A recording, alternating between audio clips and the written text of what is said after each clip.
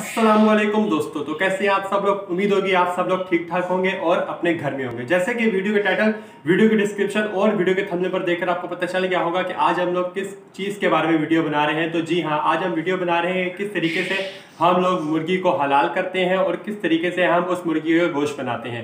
तो वीडियो होने वाली बहुत इंटरेस्टिंग वीडियो को लास्ट तक देखिएगा। वीडियो को स्टार्ट करने से पहले मैं यही कहना चाहता हूँ कि अगर अभी तक आप हमारे चैनल पर नए हैं तो हमारे चैनल को सब्सक्राइब करिएगा। वीडियो को लाइक करिएगा कमेंट करिएगा शेयर करेगा और भाई को सपोर्ट करेगा चले स्टार्ट करते हैं। वन टू थ्री तो दोस्तों, ये हमारे भाई मुर्गी को काट रहे हैं। तो आप देख सकते हैं मुर्गी सही काटने का तरीका ये है। अभी देख रहे हैं, वो ना फुदक रही है। दोस्तों आप देख सकते हैं दूसरी मुर्गी है ये। और ये किस तरीके से काट रहे हैं भाई इतने आसानी से कैसे पकड़ते हैं? सर हमें आप हमें एक तरह का एक मुर्गी पकड़ के दिखा दें किस तरीके से हम पकड़ते हैं मुर्गी को। काटें बेशक ना। कि किस तरीके से हमने इसके पर पकड़ने सबसे पहले हमने पर पकड़ने हैं दोनों हाथों के साथ इसको कम्बिनेशन बनाकर इसको ज़ोर से पकड़ना है और साथ में इसकी गर्दन पकड़ लेनी है। तो दोस्तों ये तरीका है। सही तरीके से मुर्गी को काटने का। किबला रुख करना। किबला रुख करना। तो दोस्तों ये आप देख सकते हैं कि मुर्गियाँ हलाल हो चुकी हैं। तो अभी किस तरीके से हमने इसका गोश्त बनाना है ये तरीका हम समझ लेते हैं सर से। सबसे पहले हमने इनकी टांगें काटनी है। तो आप देख सकते हैं ये पंजे हैं जिसका लोग सूप बनाकर पीते हैं। है ना सर? जी सर। इनको अभी काट लिए हैं इन लोगों ने। इनको लंगड़ा कर दिया है। अभी इनके पर काटे हैं। तो अभी आप देख सकते हैं किस तरीके से सर बिल्कुल आराम समझाएँ हमारी ऑडियंस को। आप देख सकते हैं किस तरीके से ये इसकी, इनकी जेल उतार रहे हैं निपार पर उतार रहे हैं और नुमाया गोश्त नज़र आ रहा है।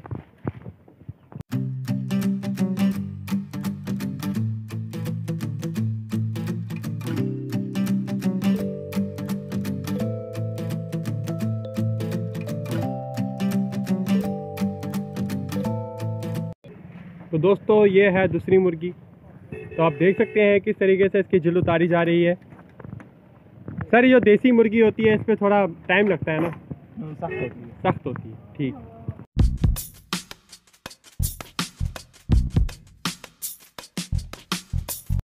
आप देख सकते हैं कितनी आसानी से इसकी जिल उतारी जा रही है। अब इसका गोश्त बनाया जाएगा। वो भी हम आपको दिखाते हैं।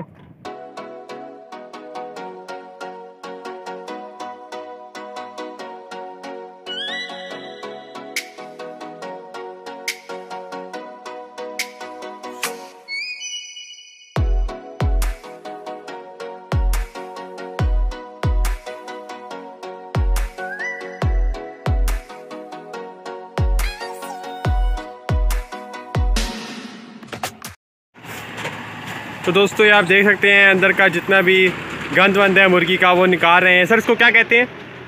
सर इसको कलेजी। कलेजी? ये कलेजी है। ये कलेजी है ये ये पोटा पोटा है।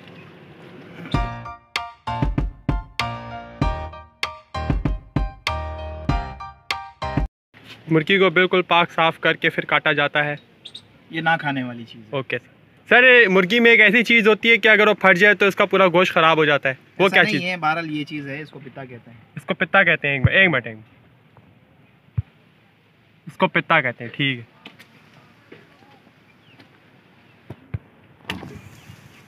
तो ये दोनों मुर्गियाँ कट चुकी हैं साफ़ हो चुकी हैं।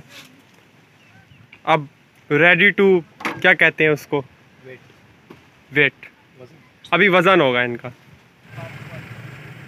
तो दोस्तों ये आप देख सकते हैं कि इसका वेट हो रहा है और हमने वन थाउज़ेंड रुपीज़ की बोला था कि एक हज़ार रुपये की हमें मुर्गी चाहिए तो अभी उसके मुताबिक हमें मिलेगी।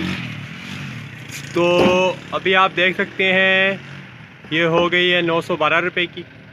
एक हज़ार रुपये की एक हज़ार चार रुपये एक हज़ार दो रुपये एक हज़ार रुपये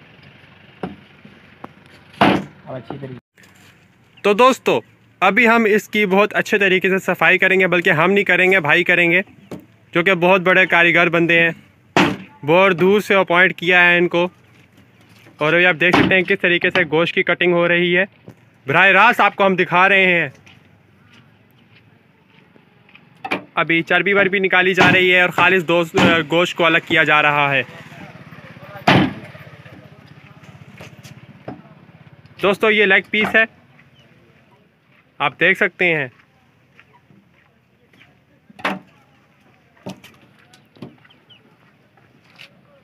तो अभी आप देख सकते हैं मुर्गियों किस तरीके से इसका गोश्त बनाना है। सबसे पहले हमने ये हिस्सा काटना है और देन बीच में से काटना है सेंटर में से काटना है और काटते जाना है, काटते जाना है।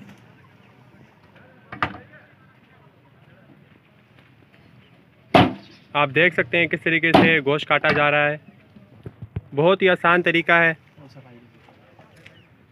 और सफ़ाई किस तरह और सफ़ाई किस तरह की जा रही है? देख रहे हैं बहुत अच्छे तरीके से पीसेस बनाए जा रहे हैं।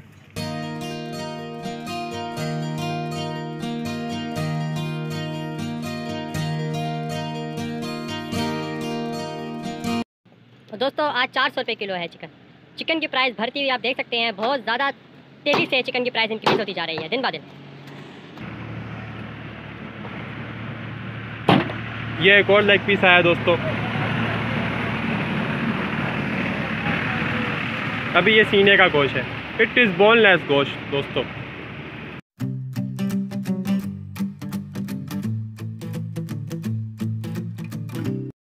सर ये चर्बी है? जी सर ये चर्बी है और ये दिल है। ओके मुर्गी के दिल में भी हार्ट होता है दोस्तों। मुर्गी के दिल में भी दिल में नहीं, मुर्गी के अंदर भी दिल होता है दोस्तों। आप देख सकते हैं, इसको बिल्कुल बीच में से काटा है और अभी छोटे छोटे पीस किए जाएँगे गोश्त के। दोस्तों, ये चीज़ें सीखने वाली होती हैं।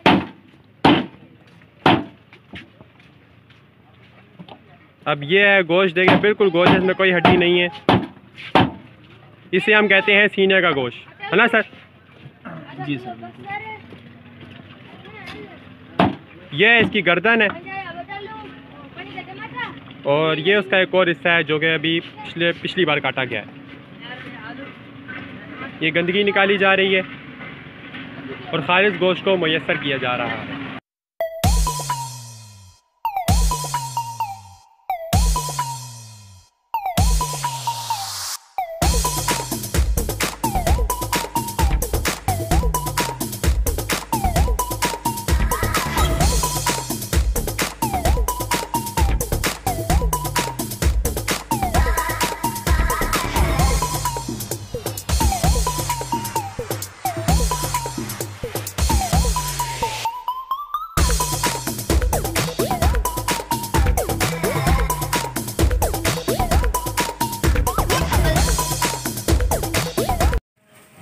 तो दोस्तों, आप देख सकते हैं, गोश्त कट चुका है पीसेस हो चुके हैं। अब पैकिंग की तरफ़ है कि भाई शापर में डाला जाए।